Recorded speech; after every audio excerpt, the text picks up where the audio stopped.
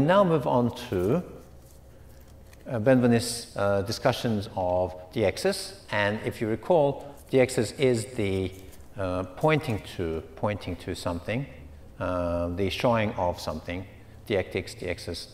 In his book uh, of, in his work of 1953, the Animal Communication and Human Language work of 1953, he demonstrated that, Benveniste demonstrated that the language of humans, human speech, is not reducible to that of the uh, uh, type which we find in animals, in bees and in dogs and in monkeys and in cats and everything. In uh, animals, he says that it's quite a stimulus response system, but in humans, it's not. And we cannot reduce human language to that kind of system, as B.F. Skinner did. You know, it's not behaviorist. Uh, we should not become reductionist in that way. Language is rather a negotiation, a building. It becomes a discursive act, a discursive act. Whatever discursive means, we will discuss that and discuss the um, James Gee uh, notions of discourse, the Foucaultian notions of discourse, the Elinor Ochs and Bambi Schieffelin the notions of discourse, and so forth. So in this work, he repudiated the behaviorist linguistic interpretations. And how did he do this? Well, first of all, he took the notion of I and you, the pronouns I and you, and the polarity between I and you. And he told us that uh, there is a, uh, when we speak about the, uh, or when we refer to a third person, he, she, or him, her, that, they, then when we use a third person pronoun, the third person acts under certain conditions, and these conditions are a possibility of having an IU polarity. So, meaning that the third person cannot exist unless, unless there is a, an I and you,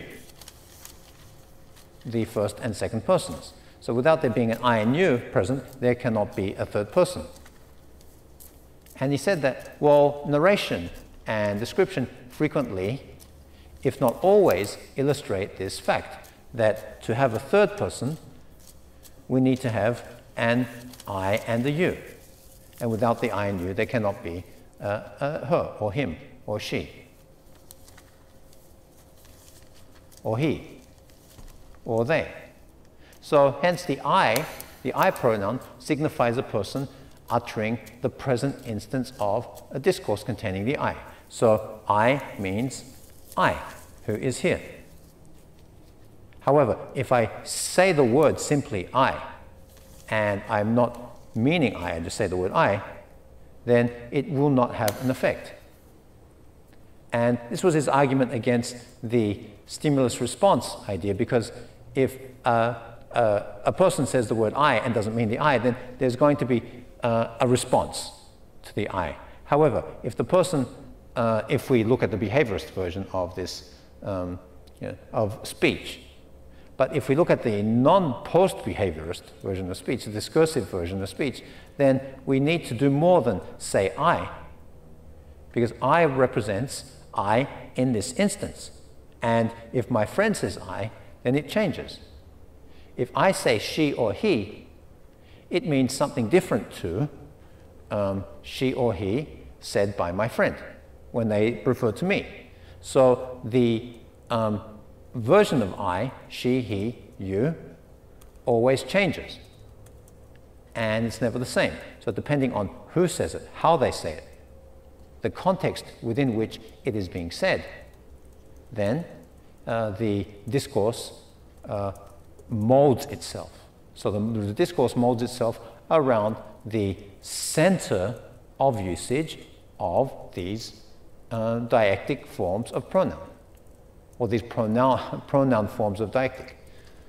Okay, and that was Benveniste's uh, uh, argument for the importance of pronouns and how they um, refute um, the then uh, current conceptions of speech the behaviorist conceptions of speech.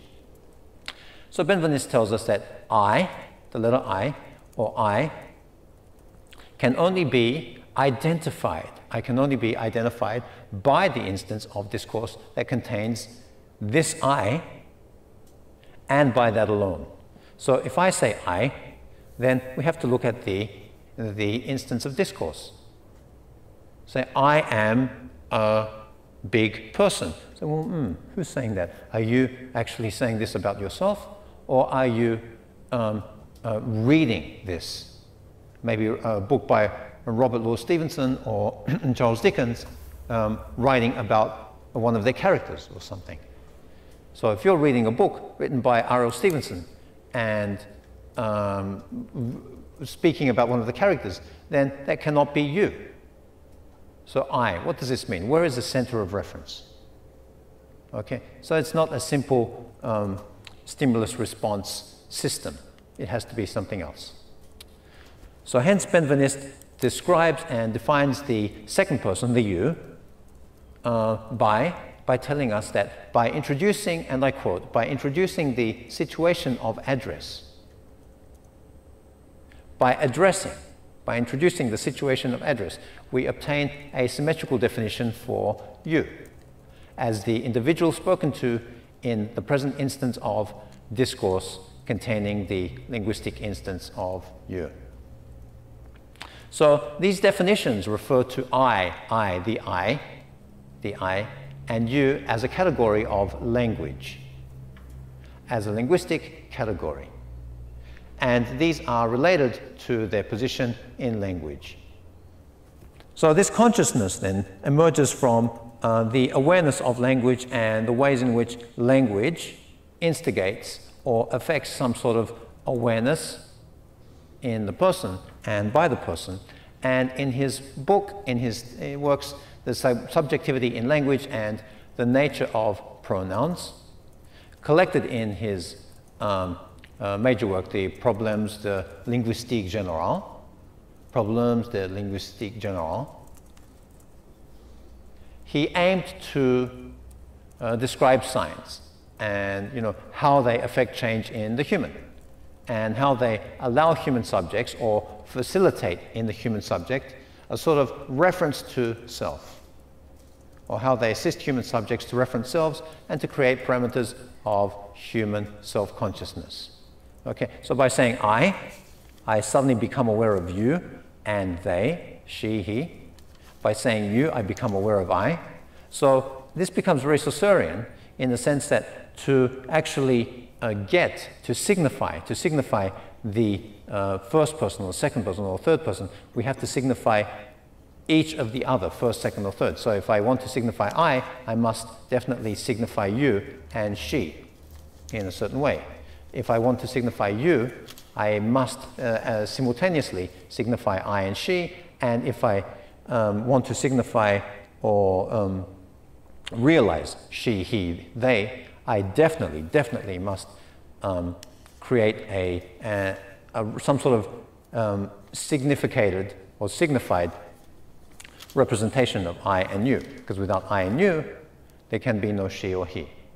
And so this is what Benveniste is telling us in the idea that um, to describe signs uh, and allowing the human, human subjects to reference selves, then we must create certain parameters of human self-consciousness, and this is what happens through deixis. So uh, the ego is the person who says ego, according to Benveniste. Uh, if I say ego, ego, then this means the ego. And if you remember that in Greek, the ego is not a noun. It's not a pronoun. It is rather um, a, a verb. Okay, a verb. A verb, the I is not a static I, not a stasis, but a kinesis, always emerging, always becoming. Okay, so the ego, the I, according to Benveniste, it thus emerges um, into a sort of a foundation of subjectivity uh, determined by the linguistic status of the person. And you could be the person speaking or the person uh, hearing about the person speaking and referring to you, or the person um, not being there at present and hearing about it or being spoken about or something. Okay. So this then merges, A merges and um, develops into forms a sort of a consciousness of self, which is only possible if uh, it's experienced by as a uh, contrast of sorts. So if you're I, then you realize I because you're speaking about you, speaking about she, he. If you're you, then you only realize you because you're being spoken to by I and so forth. So I use I only when I speak to somebody uh, to, um, uh, whom I label as you. I cannot speak about I unless I'm speaking to someone who is a you. I cannot speak about you unless I'm speaking about I. And this version of Benveniste's behaviorist stimulus response repudiation then evolved into his discussions of énoncé and énonciation. And more so, this emerged from his discussions and work on pronouns. And he spoke about these two words, the énoncé and énonciation. And he told us that the énoncé, the énoncé, is a statement independent of context. It is a simple stimulus response language. It's I, irrespective of who the I is. And there's a certain response that you will get every time you hear the word I. You say I, well, I just means um, I. And you just means you. However, enunciation, according to Benveniste, becomes the act of stating as tied to context. So this becomes very contextual language. Énoncé and enunciation. So this distinction between énoncé and enunciation moved Benveniste to see language as a discursive instance. And the idea of using pronouns to refer to a changing nature of discourse is uh, the way in which Benveniste uh, positioned his argument so to um, argue that we must see language in a non-behaviorist way. So that is fundamentally as discourse. This discourse, in turn, is, according to Benveniste, an actual utilization of language and it is its very enactment in a cosmological way. So what is deixis then? Deixis then is the following. We have our pronoun I, I, and I is a linguistic sign. When we use the word I, it becomes a sign. So if we say I, I doctor, then of course we see I in a different way. So somebody says I, think, what are they talking about? I, I, I, I. I is the letter which comes after H and prior to J. So, oh, okay, I'm talking about the alphabet. So I get it now. I watch Sesame Street. If they say I, doctor, where are you? Then we know they're referring to the eye doctor. But if they say I, captain, they're saying, oh, I see, I, yes, captain. However, if they say I am here now, and you know that they're referring to themselves. It's a reflexive, reflexive use of pronoun, and they're speaking to somebody else. If there's an I, there must be a you. There cannot be an I without a you. Uh, even if the I is the same person, they're speaking to themselves. And the I is employable by the whole linguistic community, of course, because I is, you know, is conventional and understandable by everybody, but it cannot begin to represent the fullness of one human being's self consciousness. It cannot. I is only a word, it is only a word. Okay? Um, and it's only a word because until it becomes contextualized, it is only a word. So, due to its relational importance as a linguistic sign, so when it becomes a sign, it is definitely uh, has relational importance, the person has a certain propensity, a propensity to employ I as representational. So then we start to see the post-structural, and we haven't discussed structuralism nor post-structuralism yet, which we will do, but in this way we begin to see the post-structural effects of I and you know the positionality of the noun or the artifact, which becomes a sign, sign.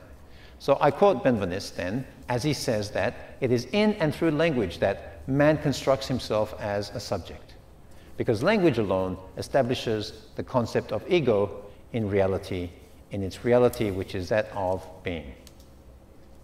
It is in and through language that man constructs himself as a subject, because language alone establishes the concept of ego in reality, in its reality, which is that of being.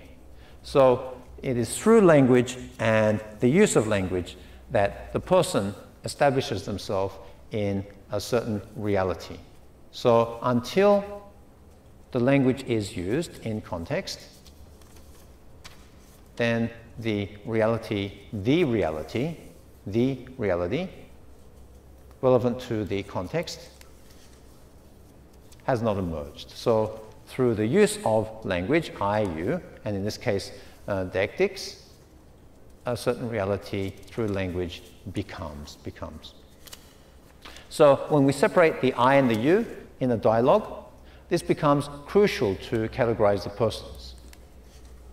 Okay, the persons uh, become signified by, and their roles in the discursive act become signified, enacted, manifested, and realized by uh, separating the I and you. Okay, I become the person who is speaking, and you are the receiver.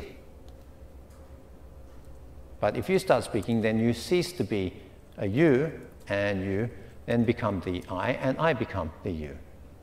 So it, this positions the individual subjects in a discursive act.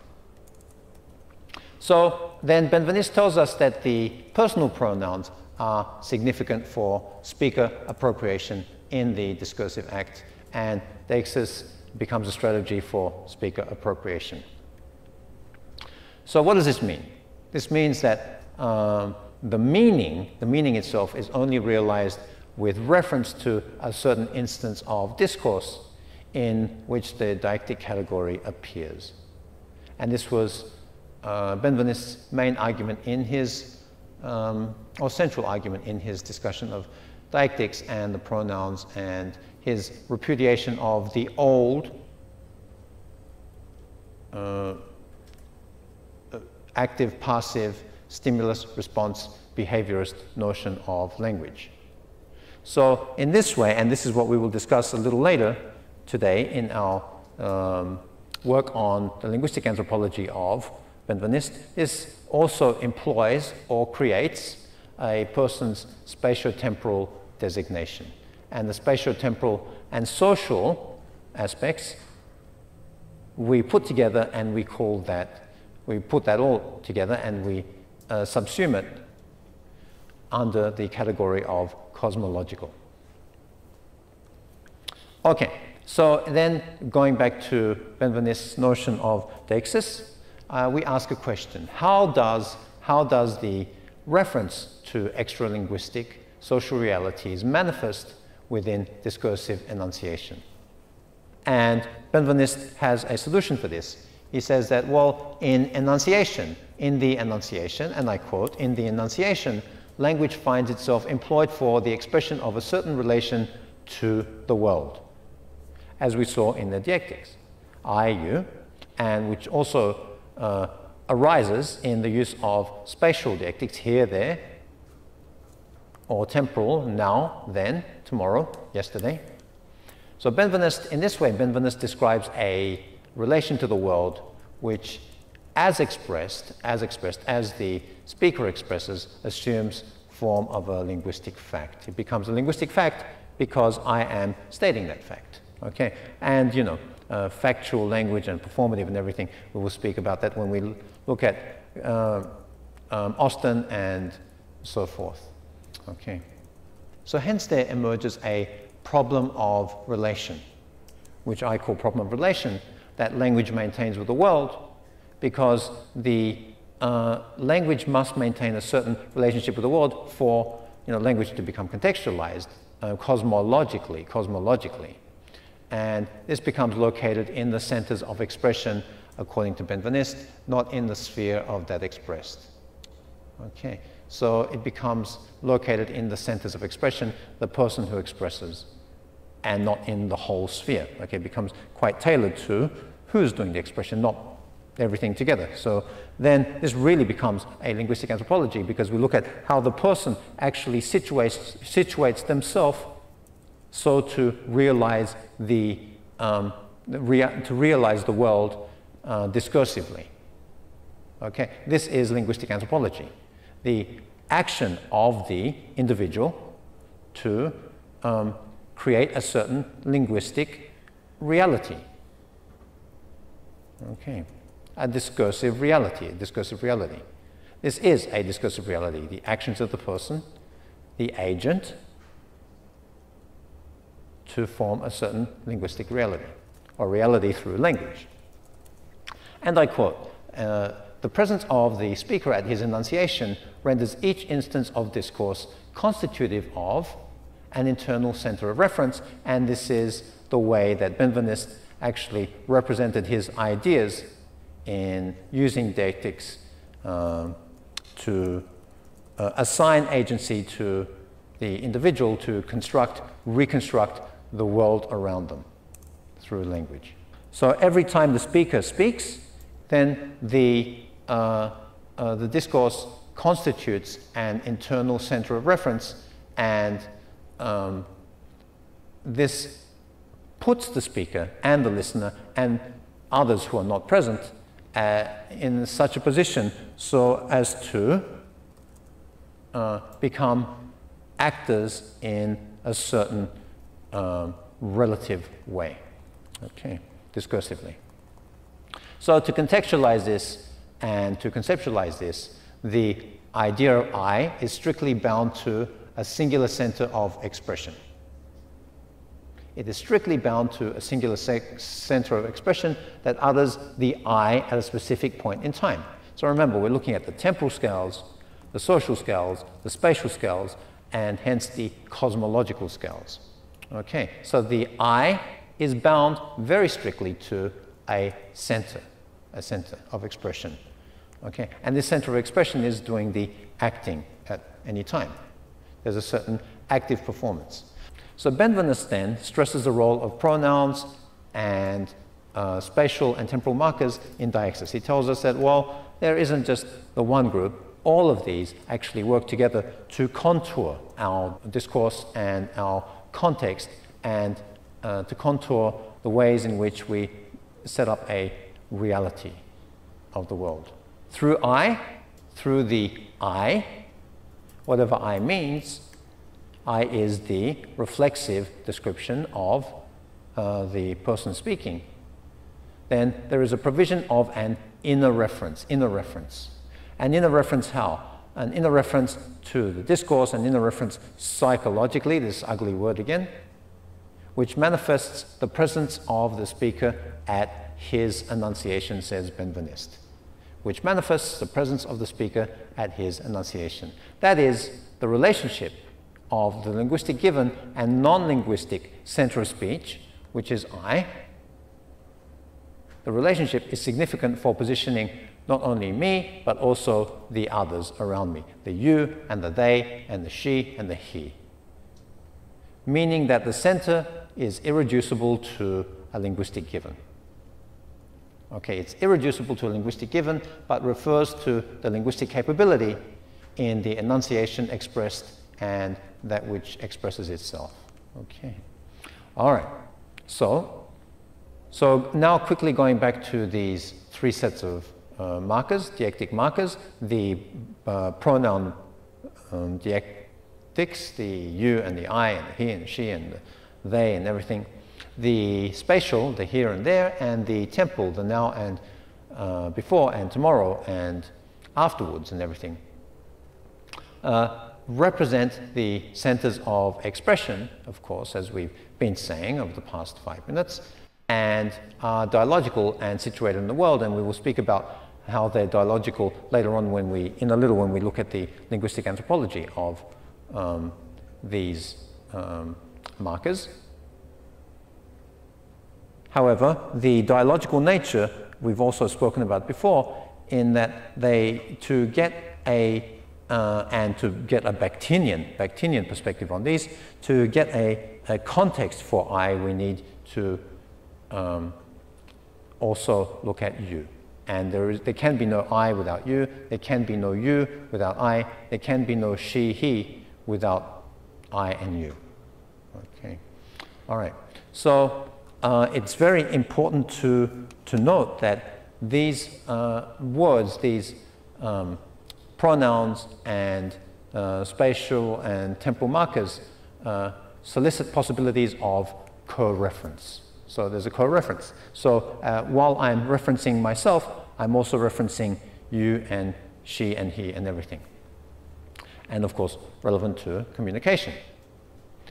So how then does this notion of deixis actually culminate in uh, Benveniste's argument away from or argument against the uh, behavior, very behaviorist uh, stimulus response um, work that was done before him.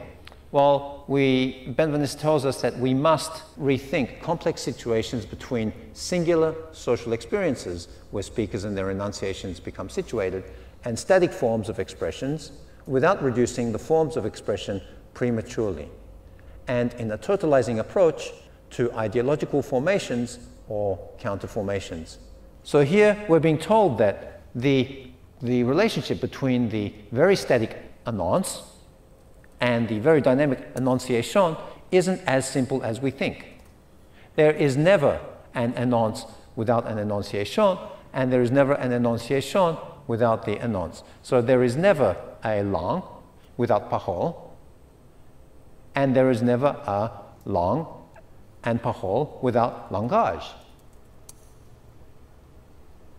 This very static form of speech is always applied in a certain way. So we cannot have the, um, uh, the syntactic signification without the semantic signification, and vice versa. So the dancer does not become a dancer until the dancer dances. And in the Duranti version of um, uh, speech community, the speech community does not become a speech community until they begin to speak, and only then does the speech community arise. Otherwise, there is no speech community. The speech community is dormant, so to speak. There is a dormancy. And then when the speech community begins to speak in a certain way, then the speech community arises and it becomes a community of practice. That which is expressed in the expression is identified with the inner reference by virtue of which the centers of expression, the speakers, appropriate speech and manifest themselves in this speech and at the same time manifest others in that speech by reference, through reference.